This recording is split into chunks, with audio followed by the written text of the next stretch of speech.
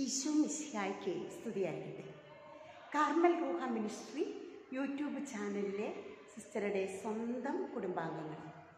ഇന്ന് നമ്മൾ കാണാൻ പോകുന്ന ദൈവവചനം ഉച്ചഭക്ഷണമായിട്ട് നമ്മൾ കഴിക്കുന്ന ദൈവവചനം വിശുദ്ധ ലൂക്ക എഴുതിയ സുവിശേഷം അധ്യായം പതിനെട്ട് പതിനെട്ട് മുതൽ മുപ്പത് വരെയുള്ള തിരുവചനങ്ങൾ.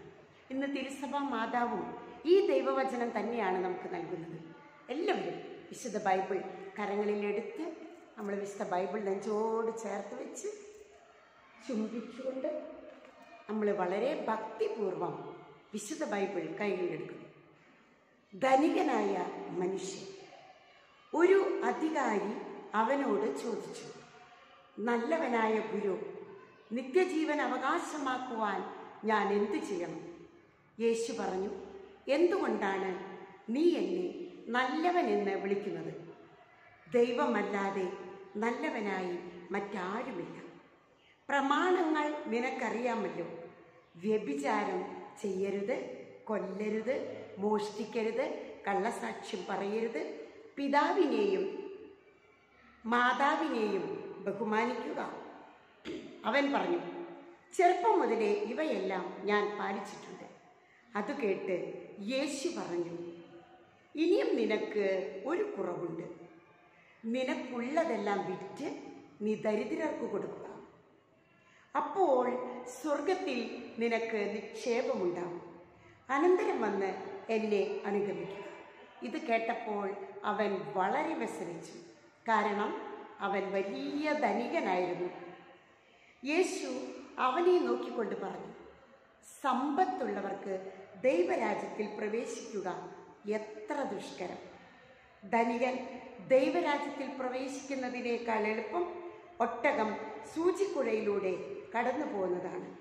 ഇത് കേട്ടവർ ചോദിച്ചു അങ്ങനെയെങ്കിൽ രക്ഷ പ്രാപിക്കാൻ ആർക്ക് കഴിയും?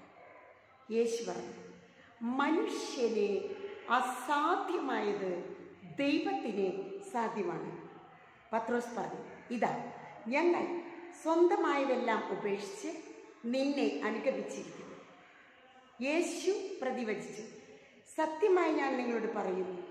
ദൈവരാജ്യത്തിന് വേണ്ടി ദൈവരാജ്യത്തിന് വേണ്ടി വീടിനെയോ ഭാര്യ ഭാര്യയെയോ സഹോദരന്മാരെയോ മാതാപിതാക്കളെയോ സന്താനങ്ങളെയോ ഉപേക്ഷിച്ചവരിലാർക്കും ഇക്കാലത്ത് തന്നെ അത് അനേകം മടങ്ങ് ലഭിക്കാതിരിക്കുകയില്ല. വരാനിരിക്കുന്ന കാലത്ത് നിത്യജീവൻ.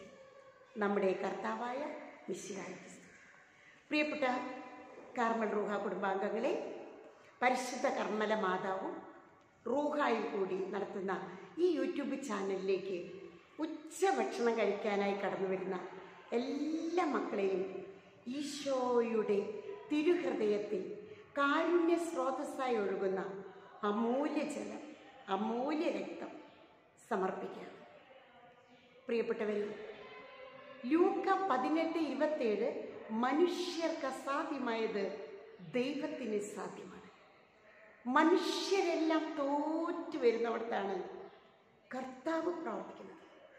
ആരിലും ആശ്രയമില്ലാതെ ഏകരായി ഒറ്റപ്പെട്ട് ആർക്കും മനസ്സിലാക്കാനാവാത്ത അവസ്ഥയിൽ ജീവിതം മുന്നോട്ട് പോകുമ്പോൾ ഇതാ എതിരെ വരികയാണ് നമ്മുടെ നമ്മുടെ യേശുനാഥൻ പ്രിയപ്പെട്ടവരെ ഈ യേശുവിൽ വിശ്വസിച്ചുകൊണ്ട് നിത്യജീവൻ ലക്ഷ്യമാക്കിക്കൊണ്ട് നമ്മുടെ വീട് ഇതല്ലെന്നും സ്വർഗമാണ് എന്റെ വീടെന്നും ചിന്തിക്കുന്നവനാണ് നിത്യജീവൻ ലക്ഷ്യമാക്കി ജീവിക്കുമ്പോൾ എല്ലാം ഉപേക്ഷിച്ച് നിത്യജീവൻ ലക്ഷ്യമാക്കിയുള്ള മുന്നോട്ടുള്ള യാത്രയിൽ കർത്താവ് നമ്മുടെ കൂടെയുണ്ട്.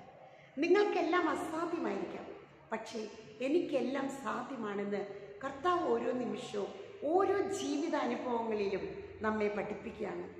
ഞാനാണ് നിന്റെ എല്ലാം എല്ലാം എന്ന് പഠിപ്പിക്കുന്ന ഓരോ അനുഭവങ്ങളിലൂടെയും ഓരോ ദിവസവും നാം കടന്നു പോവുകയാണ്. ഇപ്പോൾ കുടുംബജീവിതം നയിക്കുന്നവരായാലും സമർപ്പിതരായാലും വൈദികരായാലും ആരൊക്കെയായാലും ഓരോ ജീവിതാനുഭവം നമ്മെ പഠിപ്പിക്കുകയാണ്.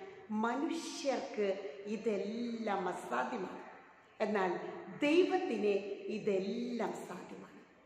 പ്രിയപ്പെട്ടവരെ ഈ ഒരു ദൈവവചനം നമ്മളെപ്പോഴും ഈ ചാനലിൽ തുടങ്ങുമ്പോൾ തന്നെ സിസ്റ്റേ ഒരുവിടാനായിട്ട് തന്ന ഒരു ദൈവവചനമാണ് എപ്പോഴും അസാധ്യ കാര്യങ്ങളുടെ വചനം.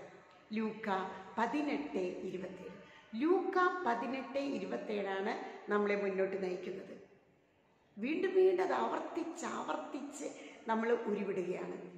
ദൈവവചനം കേൾക്കുവാനായിട്ട് ഇപ്പോൾ സിസ്റ്ററുടെ മുന്നിലായിരിക്കുന്ന സർവ മക്കളെയും പല മക്കളും ചിലരെ കാലത്ത് ഉപേക്ഷിക്കുന്നു ചിലർ ഉച്ചയ്ക്ക് ഉപേക്ഷിക്കുന്നു ചിലർ ഭക്ഷണം രാത്രി ഉപേക്ഷിക്കുന്നു.